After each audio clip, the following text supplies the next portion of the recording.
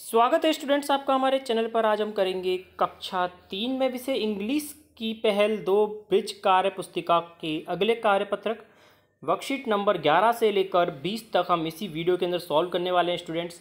आपके लिए एक साथ वीडियो लेकर आते हैं ताकि आप जल्दी जल्दी कर पाएँ। एक से दस तक हमने वर्कशीट और आपकी हिंदी और गणित के भी हमने काफ़ी सारे वर्कशीट डाल दी है। उनकी लिंक डिस्क्रिप्शन में मिल जाएगी स्टूडेंट्स आपको ताकि आप आसानी के साथ देख पाए और साथ ही हमारी टेलीग्राम चैनल पर ज्वाइन करें ताकि आप वहाँ पर एक साथ लिंक पाएँगे, जो हमेशा वहीं रहती है, ताकि आप आसानी से कभी भी कार्यपत्र ढूंढ पाएँ।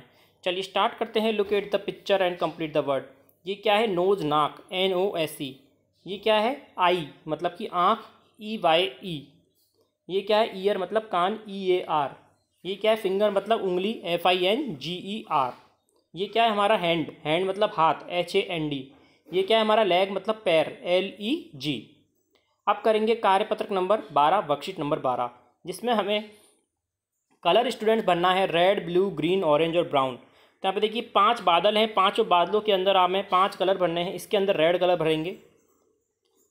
इसके अंदर भरेंगे हम ब्लू इसके अंदर भरेंगे ग्रीन फिर भरेंगे ऑरेंज स्टूडेंट्स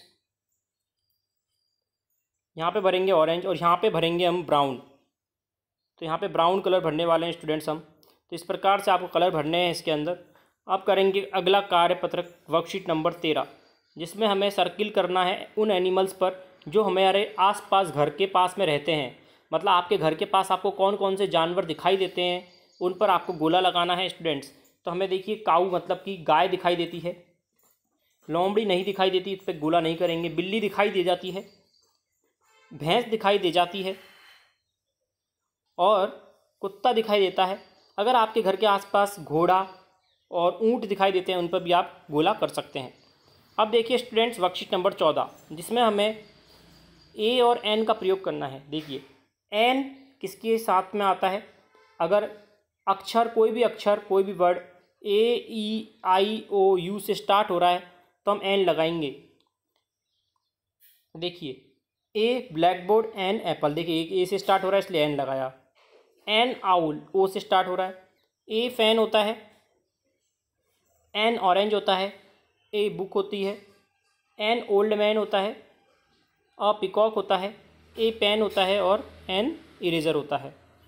मैंने क्या बताया आपको? एन किसके साथ में लगाएँगे आप? ए, ई, आई, ओ, यू से स्टार्ट होने वाले वर्ड्स पर हम एन का उपयोग करेंगे। अब देखिए दिस और डैट देखिए this is a pot that is a that ball is mine तो ये देखिए, ये जो निशान है, आपको हाथ का निशान दिख रहा है, ये पास में चीज़ है तो दिस आएगा, दूर चीज़ है। ये हाथ का निशान देखिए, दूर है, इस इस चीज़ से तो डैट आएगा। तो this is a pen that is that pencil is yours this is a book that is a fan this is a head that is a ball अब करेंगे वर्कशीट नंबर सोलह।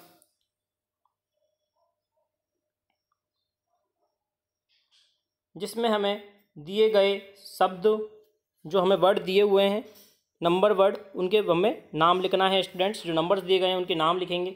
ये क्या है students three T H R double E three ये क्या है ten T E N ये क्या है eight E I G H T ये है सिक्स एस आई एक्स ये है four F O U R ये है टू टी डब्ल्यू ओ ये है five F I V E ये है seven S E V E N अब करेंगे कार्य पत्रक नंबर सत्रह वर्कशीट नंबर सत्रह, जो कि हमारे पेज नंबर बीस पर होने वाला है स्टूडेंट्स जिसमें हमें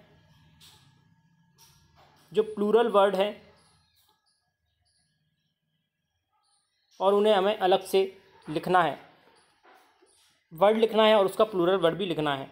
जैसे कि देखिए पेन का पेन्स होता है इसी प्रकार से।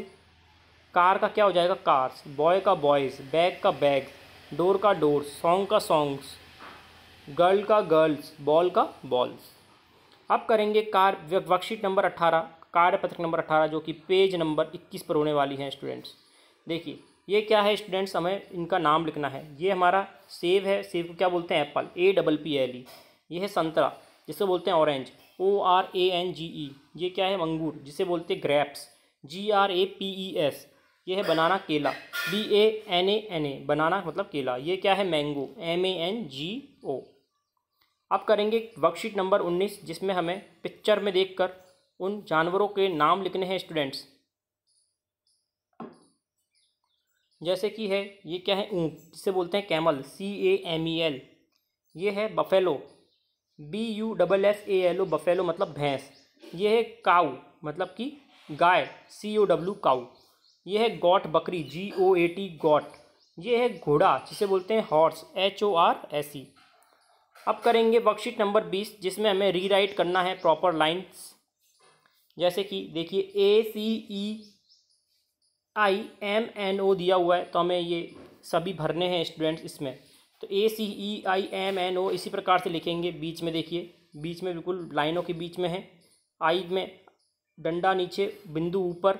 इसी प्रकार से आपको सभी कंप्लीट करनी है लाइन इसी प्रकार से आगे नीचे दिया हुआ है R S U V W X Y Z इसी में भी हमें ऐसे कैसे लिखना है? बीच वाली लाइनों में R S U V W X Z अगला देखिए वर्कशीट नंबर इक्कीस, जिसमें हमें B D H K L T लिखना है स्टूडेंट्स यही हमें रिपीट करना है आगे भी। इसी प्रकार से लिखेंगे।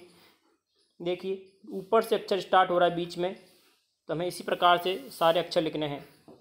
अब देखिए वर्कशीट नंबर बाईस, जिसमें F P G J Q Y है, उन्हें हमें नीचे तक लिखना है। स्टूडेंट बिल्कुल जमा जमा की इसी प्रकार से लिखेंगे, जैसे कि इसमें लिखा गया है। तो स्टूडेंट इस प्रकार थी हमारे संपूर्ण वर्कशीट जो हमने की है, ग्यारह से लेकर बाईस तक एक ही वीडियो के अंदर आपके लिए, ताकि आप एक साथ काफ़ी सारे कार्यपत्र या वर्कशीट सॉल्व कर पाएँ और जल्दी से जल्दी अव्वल आएँ। तो जुड़ रही चैनल से लाइक करें शेयर सब्सक्राइब करें। धन्यवाद।